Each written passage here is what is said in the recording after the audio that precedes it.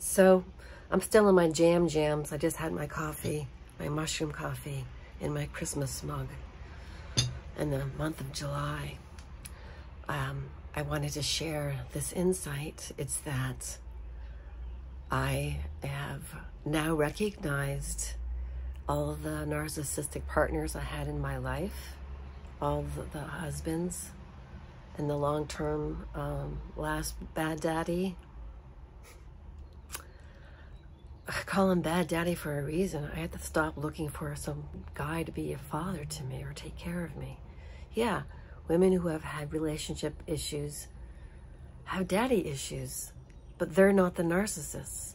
They're the vulnerable ones. So that's what you do after you've had these failed relationships is you don't feel sorry for yourself. You go, wow, uh, those were my teachers. I learned so much from these narcissists.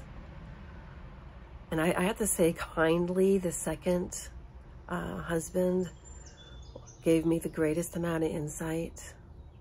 He really did. And I'm so grateful for that. What kind of insights? Well, one of them is really kind of funny. And it's a tell because uh, a narcissistic personality type or an immature child will reason that if they have a feeling, then it's a fact. So if they feel like you're making fun of them, they will be like, you're making fun of me. And if the person truly isn't, then that person I'm not going to tell you how to handle situations like that. I'm talking about what's going on in somebody's head. All right. A child's not saying that. But in the relationships that I had with um, successful learning of the narcissistic um, personality type and what I needed to become resilient to, and the, and the reasoning that they have that's so unreasonable. If you come across this reasoning in legal situations or in business, it's the same as when you're dealing with your own family. And it's um, that somebody will act like you meant something you didn't mean. And because they have that feeling, it's a fact. So a sister might say, Kat, you're making a dig. You're, you're making a dig at me by saying that. So in other words, it's about her and her mind. That's narcissistic. She's the golden child. She's not a bad person to me, but she doesn't see that her subjectiveness is not objectivity. The objective fact is if I state something that's a fact for me, it is not a dig to her, right? So feelings are not facts. I learned that. And, and then back to the second husband, who I actually enjoyed a lot um, in so many ways because of his mental dexterity uh, and his ability to make jokes over nothing. Uh, it was, he goes, oh, you hurt my feeling. And this is when the kids were little because he helped raise my kids. And he was an excellent influence over my son uh, um, my daughter, I'm not so sure. I guess so. But um, that's a complicated issue, how my daughter treats me and how he used to treat me in front of her, which was, shut up. I want to hear what the kids have to say as opposed to let's all have a discussion. Let's all learn to have positive communication together. He was the narcissist, so he read, he um, ran the pace of the conversation and he was the CEO of the conversation. So he always ran the meetings, which were the dinners. And my mother was the same way. They always dominate the conversation and then insult you for actually participating as if you're an imposer. And it's not like you're trying to dominate or butt heads. It's more like you're not allowed to say anything unless given permission. They have to ask you specifically. and then you have to be sure what they're asking you is not a setup. It's just crazy. So it's the same deal in business as it is in families, as it is in marriages that are uh, horrific when you're married to one of these bulldogs, these king of the hill types. They're not team players. They look at you, doesn't matter who you are as an adversary, as an opponent. So you have that too. So I learned these things. They're not team players. They're always in it for themselves because they think you're trying to screw them. it's like, relax, relax. What's our focus here? Focus on the goal. How you feel about something does not make it true.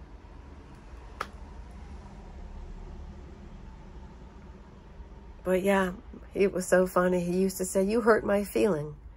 And that's when I realized he didn't have any other feelings other than that one feeling. I mean, he was rather monotonous. Same jokes. And I never criticized him once.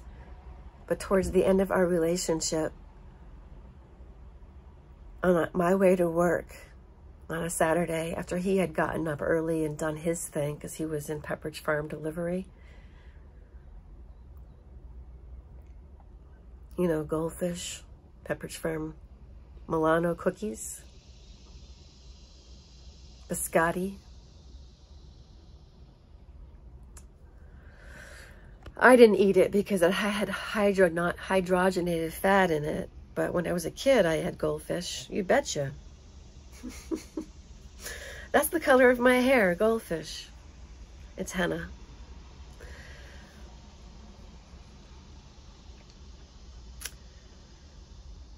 Yeah, I just went down memory lane there. Yeah, he used to call me a lush towards the end. His mother died, and then he projected all of his unresolved issues onto me. I had to make him feel better by acting a certain way.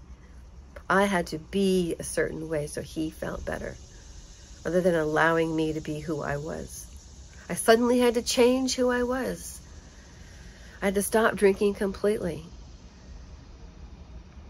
I had to stop talking to him about my family. He'd already heard it before.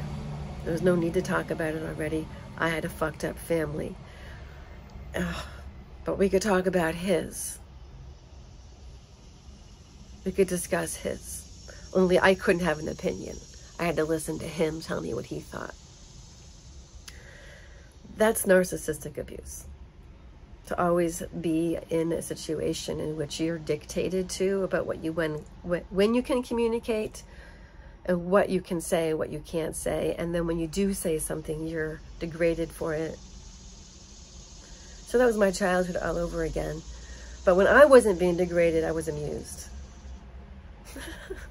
and my my mother has has uh, likable aspects to her too that's why this whole situation is such such mind effery to us children of narcissists. But we, we learn these things. It's like, sister, recognize I'm not making you feel anything. You feel your feelings. I work. I am a single woman. Let's point out the facts. I tell her I work. She must be working out because she spent an entire day not addressing something that she was an instigator and part of. Stop telling mom to call the police. Let her know the facts. Our father is in protective care and guardianship of his eldest, his son. And his son is taking very good care of him. And stop stirring the pot. Be truthful. Tell our mother the truth. Dad is with Ken because of protective order, meaning keeping things in order and him alive and not beaten to death at the age of almost 94 in August? Tell that woman she doesn't remember that she is turned into doc Dr. Jekyll and Mr. Hyde Mr. Hyde did not know who Miss Dr. Jekyll was any more than Dr. Jekyll knew who Mr. Hyde was. They think black or white, and they're really good fabricators of stories. And they make really good stories up where they're not the victim at all. No. Meaning they are acting like they are. Every narcissist has a backstory about why they are the way they are.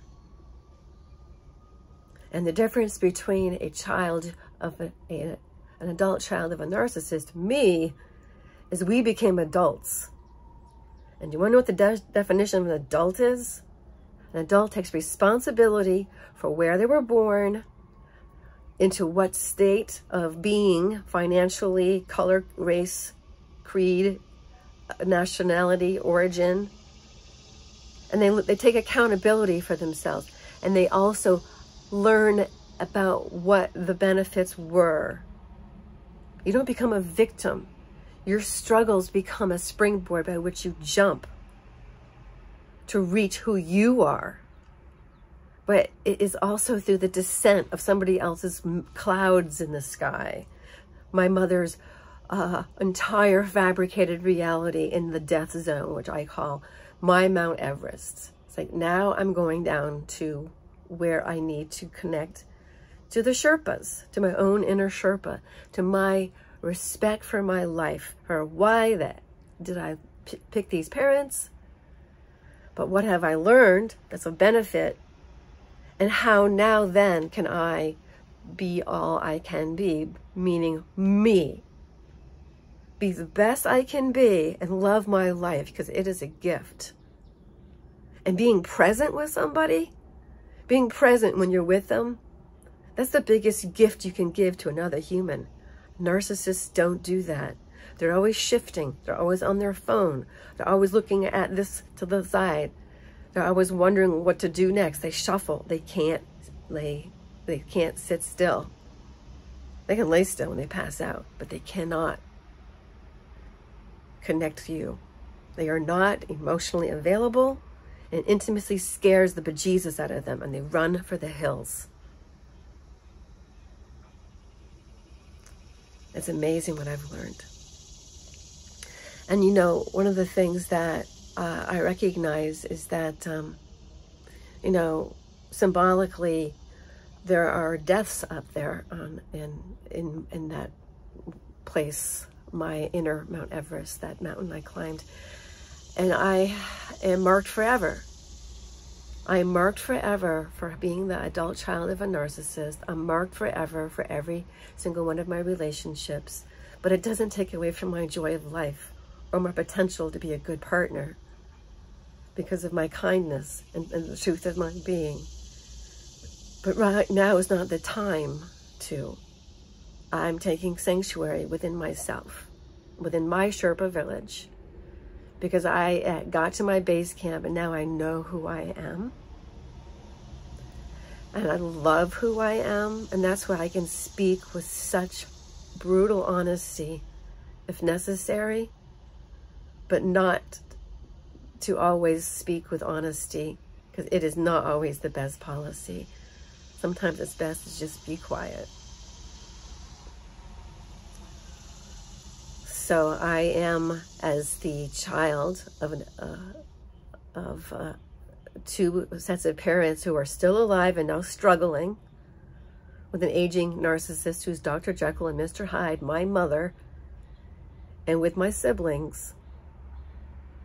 All of us dealing with what has occurred in our entire life, and yet Rather than being an adversarial situation, it is the wonderful opportunity to heal.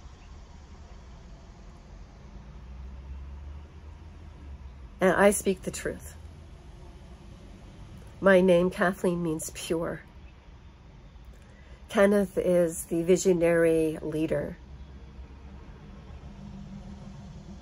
He's the leader in business and I'm the spiritual guide. And it's about time you and Janine, which is God's gift, God's grace, and Jane is God's gift, And Corrine, you know what your name means? You're a maiden and you're a strong girl. Okay? I look at you as a girl and I love you. You have to own up to where you are in the station of our family and you have to take that position seriously and use that gold to help heal. But just like in spiritual Kintsugi, I talk about gold, the truth, the truth, my sister. And the truth is not what you feel it is. The truth is we have a situation that's a difficult one.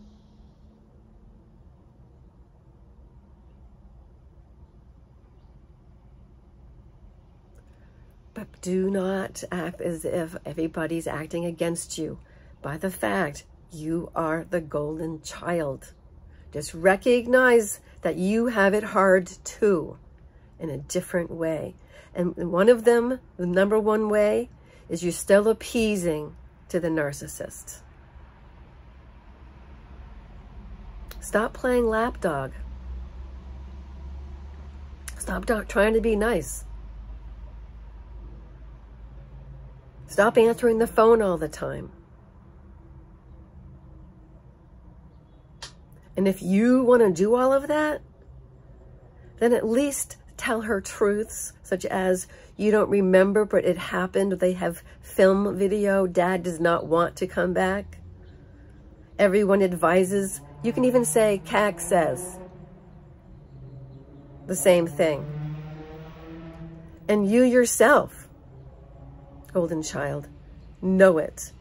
And you, for you to actually say it, for you to actually tell her, would be the most beautiful golden truth in the world to finally say something to her without the fear of losing your position because there is no position to lose. We're all positionless. We're in the reality of our parents dying and the slow, agonizing demise of an aging narcissist has got to be the gnarliest thing anyone could ever experience but put some humanity into it. That's all. Little love, peace, and understanding. So yes, I learn a lot in my marriages and exposures to these narcissistic men who aren't always terrible. And that's the thing about narcissists. That's why it's so confusing in the head. That's why it does a number on you. And I learned that too. But that's what uh, hypothermia does up there in Mount Everest. You know, Lincoln Hall, now deceased, uh, his first uh, summit, on the way down, he kept trying to go back up. He wrote a whole book on it because he was left for dead and he came back from the dead. So well, the second time he died, he was age 56 and he died for final that time. we'll talk about that in the symbology later. I'm just, I'm loving the whole like Mount Everest base camp thing, you know. So follow along, subscribe and like. Uh, and I also come currently as kind of narrating the story of my family. And I hope you all listen, family. And you just realize we're just in this separately, but it can be together. But can it be in a way that's no longer begrudging or angry? Now, granted, Ken has a lot of anger that he's processing, and rightfully so. He's been um, mistreated and thought of incorrectly. And that has not been a kind thing to do to such a noble soul.